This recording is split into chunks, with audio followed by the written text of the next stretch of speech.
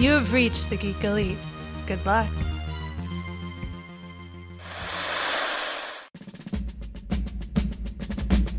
In my lifetime, I expect to see three, four, perhaps even more women on the High Court bench. Women not shaped from the same mold, but of different complexions. Welcome back to season 3 of United States of Women, New Jersey. New Jersey. This is the American Women History podcast. Yes. in which we try to bring to you each season a different state and mm-hmm. eight amazing women that you may have never heard about, But you should have. but you should have. You should know them. You know their you know the thing that makes them famous. Yes. Even if you don't know them. Yeah. So that I am Elizabeth, and I am joined by the fantastic Jessica. Hello. I gotta find a J one that goes for Jessica. I'll have to work Jubilee, on Jubilus, Jubiltastic. Jubiltastic. I'll work on it. I'll work on it. So, this week's episode, we are discussing Dr. Estrogen. Ooh. I have that. right? so does everybody, Yes. Everybody. including all those men out there. You have estrogen in your body. Yeah. Not a lot, Just a little bit. Just a little enough. bit, but you got it. you got it. So, today we are discussing Dr. Rita S. Finkler. Ooh. Okay. So, Rita Finkler was born November 1st, 1888, in Kherson province in the Russian Empire, what is modern day Ukraine. Okay. Ooh. Um, originally, she was born Rika Shapiro. Okay. But n- no American is going to understand Rika. well, actually, it get, it's more interesting than that. Oh, okay. It is. It is, in fact, actually more interesting than that. But she was born uh, one of four. She had two sisters and a brother. Her brother died at child as a, in childhood. Aw. But she attended Bira Besto uh, Gursky College for her undergrad, and then she was accepted to St. Petersburg State University to study law, which was really unusual at the time. Yeah. Um, she was admitted to study law when she was sixteen. Wow. Just What have I done with my life? right? um, so at, at this point, it's the early 1900s. She she's born Jewish. Things are starting to get not okay in Russia. You've got the Bolshevik Revolution on. Is on it the- ever okay in Russia, to be fair? I mean, valid. there are like I feel like Russia was okay, like back when they believed that there were little people. I can't remember what they were called. Dolmovies. And when she arrived and they discovered she was a woman and that Rika was not short for Richard, Oh. They revoked the job offer. Oh. So from there, she went, from then on, she went as Rita Finkler. So that she could just. Either you're going to accept it or denied, not. yes. I'm not going to uproot my life for something and then have you go, oh, wait, you're not a Richard? I would have written Richard. So, um, instead, in 1919, she moved to Newark, New Jersey, which is how we end up with her as a famous New Jersey woman, um, where she'd basically be most of the rest of her adult life. Um, and she opened a private clinic, private practice, focusing on pediatrics and obstetrics. Obstetrics um, primarily serving the Italian commun- immigrant community in the area Okay. At the time. Yeah, at the time, that would be probably the low level community, I assume. Yes, they were they were the newest immigrants. There we go. Yeah, there. That's what I was trying to say. Yeah. the new ones. So during all this time, um, she was then there for several decades, several several decades. She began. Uh, she worked at the Newark Beth Israel Hospital. And in 1928, she began research in the field, the newer field of endocrinology at Mount Sinai Hospital. okay. Okay, in 1928. So, endocrinology. Yes. This is our topic for today. This is this is something that we've all heard of, but at least I was like, I don't really know what it I don't know a lot of the chronologies. right? so, endocrinology is the branch of biology and medicine dealing with the endocrine system. Oh. Its diseases and specific secreti- secretions known as hormones. Yeah. So it's basically all of the organs in your body that secrete hormones because hormones affect, Everything in your body. Every single thing in your body. but these sets of organs specifically secrete hormones. Um, so the organs we're talking about, generally speaking, is Thyroid. the thyroid, the oops, sorry, trying to get to my picture. Okay, the pineal gland, the pituitary gland, the thyroid and parathyroid glands, the thymus gland, the adrenal glands, the pancreas, and the gonads or ovaries. All right. So basically, stacked on top of each other all throughout your body. Yep. Okay. So, a little bit of history on the study of endocrinology. And then we'll get to Dr. Estrogen's, Dr. Finkler's impact on the field of endocrinology. Okay. Which was pretty significant. So, the earliest study occurred in China Okay. okay, where they were isolating sex and pituitary hormones from urine and using them for medicinal purposes as early as 200 BC. Mm-hmm. It's the earliest record we have of people studying and utilizing hormones. Would this study mainly be for pregnancy and stuff? So, not clear. Oh, okay. Not clear. Um, Because I, I feel like one thing I remember learning was Egypt had a pregnancy test in which you peed on wheat. And depending on how it bloomed, depended on, and it was actually kind of legit from what I understood.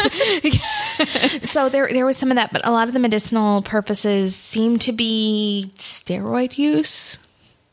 okay. All right. That makes sense too. I didn't really think um, but kind of you've got uh, you got all sorts of things that are unclear. Anyway, Eh, history. Eh. in Western culture, everything was much more of a humoral approach in understanding biological function, um, which had been favored by the ancient Greeks, the Romans, and then up through Western Europe study, as opposed to hormones. Yeah. in Western culture, your first real kind of foyer into endocrinology occurred in 1849 with Arnold Berthold, who noted that castrated cockerels did not develop combs and wattles, which are their sexual organs, or their Oh, yeah, yeah, yeah. I got, I got, I got it. um, Well, or nor did they exhibit overtly male behavior. So if they'd been castrated, they didn't get the the pieces that you know. Um, in humans, it would be the Adam's, the Adam's apple. I mean, I feel like of we should have already known this from um. Oh God, con conquistador. Nope, that's not it. But there was a time when you know because church choirs couldn't have women Eunuchs? singing in it. Yes, eunuchs. But there's a specific term for when it's a choir Oh. boy, like they, and they would chop off the testes of the choir boy so his voice would stay high. What is it called? It starts with a C. I will look it up, but But just so- shout it in the middle of your tirade. That's fine. So, but then the other half of that was that he found that replacement of the testicles back into the abdominal cavity of the same bird or another castrated bird resulted in more morphological development and quote unquote normal male behavior. Hey, this thing does something if you take it out and put it in. I like that's old science, old body science, old psychology is like, what happens if I take it out? Uh oh, put it back, in. See what it did. Um, his conclusion was that the testes must have secreted a substance that conditioned the blood. so basically, you know, you know, because remember at the time, most science was based off of like, oh, you've got bad blood in you, or your blood's off, which is why you have to like leech yourself. Go ahead, you found it. Castrato. Castrato. I don't know why I remember that. Sure. Conquistador was what was in my head. Castrato. So, but yeah, so he, so because everything's about the blood, he's like, oh, the testes must like excrete a substance into your blood that changes your blood, which causes male behavior. Yes. Not, not really the case, but No. we'll go with it. But the blood, we don't understand it, so therefore it has to be the reason for everything. yeah. um, testosterone wouldn't be isolated until 1935. Just for so like this is this is a while. This is a while. But the next big one is in uh, or at the same time, so kind of contemporaneously, in 1835 and then reproven in 1840 by other scientists, Graves' disease was discovered. Graves' disease is an autoimmune disease that affects the thyroid, particularly creating hypoth- hyperthyroidism. Um, hypothyroidism, hypothyroidism is a different one. It's the opposite. Yep. Um, but symptoms include irritability, muscle weakness, sleeping problems, a fast heartbeat, poor tolerance of heat, diarrhea, and unintentional weight loss. Oh yeah. Which I mean, I I could use some unintentional weight loss, but probably not a good thing. not in a healthy manner, though. so that was discovered in connection with the thyroid gland. So now we're starting to get again those hormones questions, um, and then you get Addison's disease as discovered in 1849. Okay. In 1902, you get studies of the pancreas and secretion of hormones from there.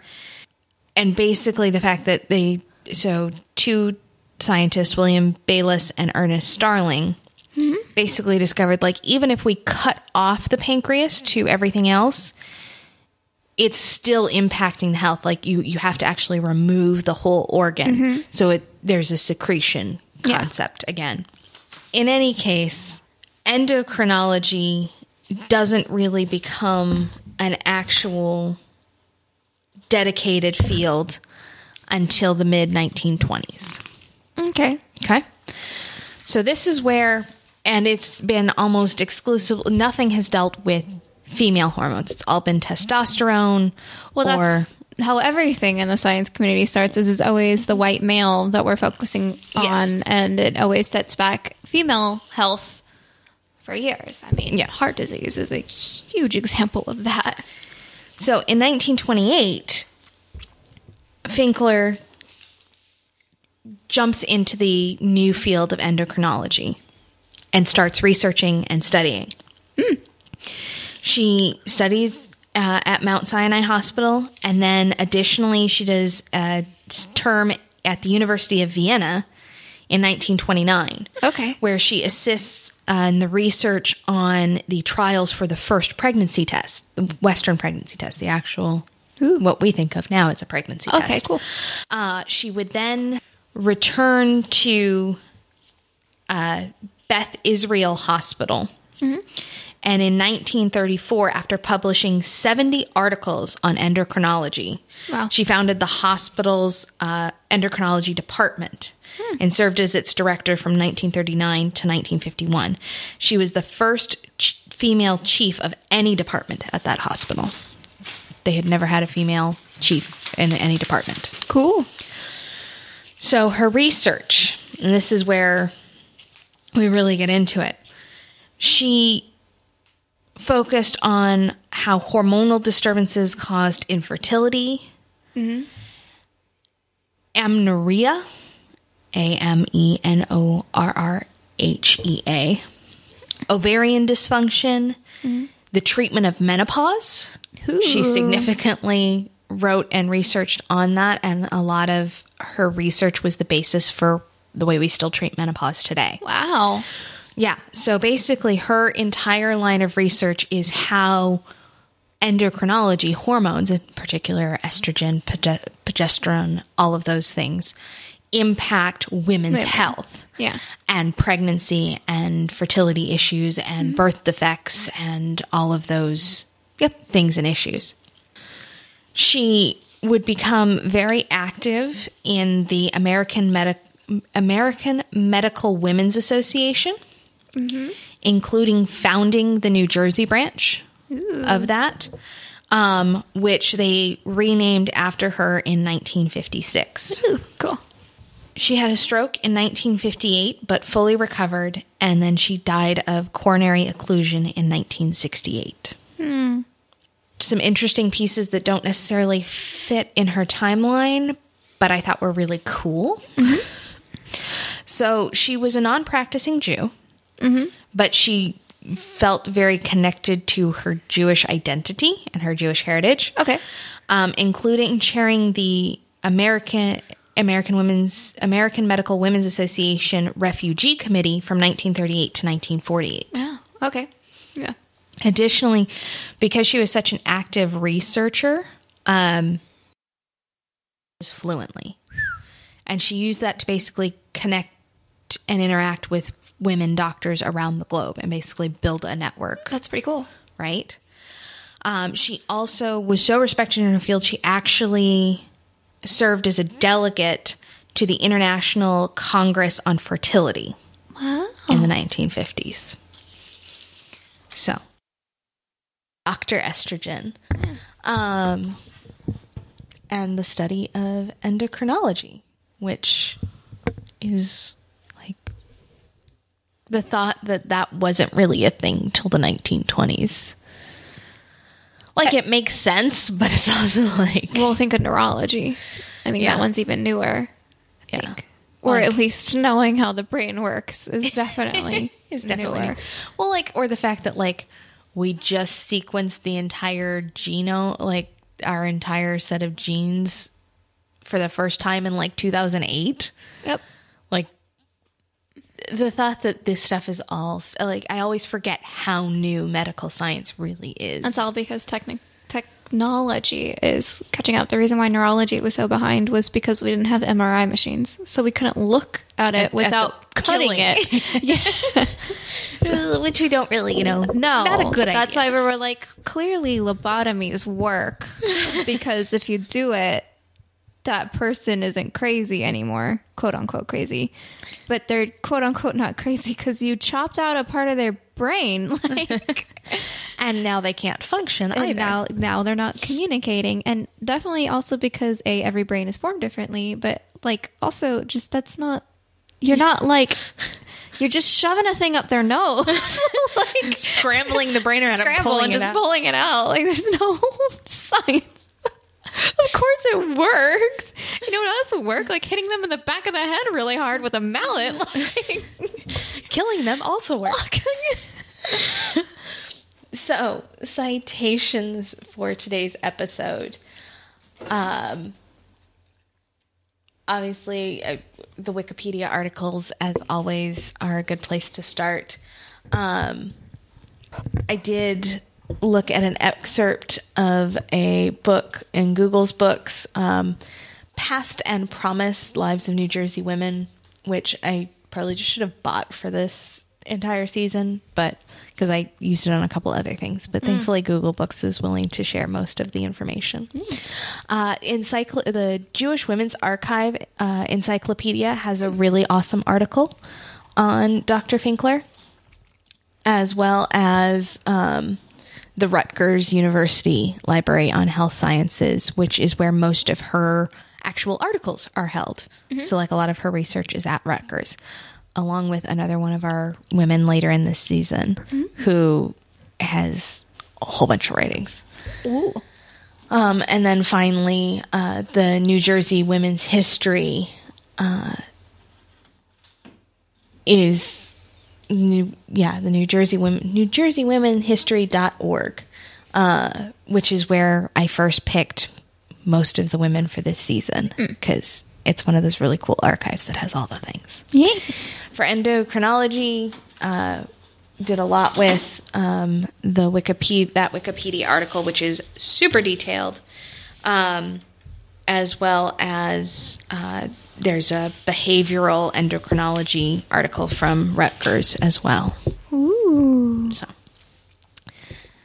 that is Dr. Rita S. Finkler, Yes. Doctor Endocrinology. Oh, the other interesting part about her, not a feminist. She was convinced that women were born free from the womb, so she didn't buy into anything that's society restricting women. No, do whatever you want. Is that how she was? Yeah, no, women like are free. They just are choosing to follow these societal standards. Exactly. That's kind of the approach she. So like, I kind she- of like that approach to feminism. I already am free. you people are just trying to lock me up. So, um, but she ended up, I, and historians seem to associate that the reason that she could still be so so successful and not and feel that way was because she kept going after new areas of study. So, mm-hmm. like, she didn't. She didn't go into the already established man's field. Correct. Basically. She just kind of jumped into. She's like, ooh, this is new. yeah, exactly. Let's do that. That makes sense. So that is Dr. Rita S. Finkler. Jessica, if people want to reach out to you on the latest and greatest in psychology research, where can they find you? You can find me on Twitter as JM Bailey Writes. And you can find me with the rest of Geek Elite Media at Geek Elite Media and our Facebook page forward slash Geek Elite Media. Archived episodes of this podcast and other podcasts can be found on our website, geekelitemedia.com. Please remember to rate, review, and subscribe to us on whatever podcatcher you use. But until next time, this is Unite the Women of United States of Women on the Geek Elite Media Network, saying always remember to geek out. This concludes our broadcast. Beep.